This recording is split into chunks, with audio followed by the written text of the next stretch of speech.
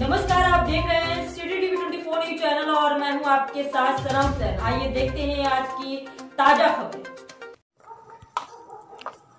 UP के जनपद फतेहपुर के खागा नगर पंचायत द्वारा तालाबी नंबरों की मिट्टी ठेकेदारों को बेची गई है, जिसमें मिट्टी जेसीबी मशीनों से एक दर्जन ट्रैक्टर, ओवरलोडिंग और गहराई का तो कोई मानक ही और नहीं है। और इन मिट्टी खनन माफियाओं को सौ रुपये में एक हज़ार कमाने हैं तो फिर ठेकेदार एनजीटी के हिसाब से काम नहीं करेंगे। और आप लोगों को बता दें कि खागा कोतवाली क्षेत्र में आधा दर्जन से अधिक तालाबों का हाल तो ये है कि पंद्रह फीट से कोई तालाब कम गहराई का नहीं होगा। अभी एक मार्च को, जहाँ हर गाँव, शहर, कस्बे में शिवरात्रि पर्व को बड़े ही हर्षोल्लास पूर्वक मनाया जा रहा था, वहीं खांगा नगर पंचायत के वार्ड नंबर तीन नयापुरवा की शिवरानी अपने खेतों की ओर गई थी कि पैर फिसलने से तालाब में चली गई और गहराई ज़्यादा होने के कारण अधेर उम्र की शिवरानी की मुफ़्त में होने के मौत हो गई।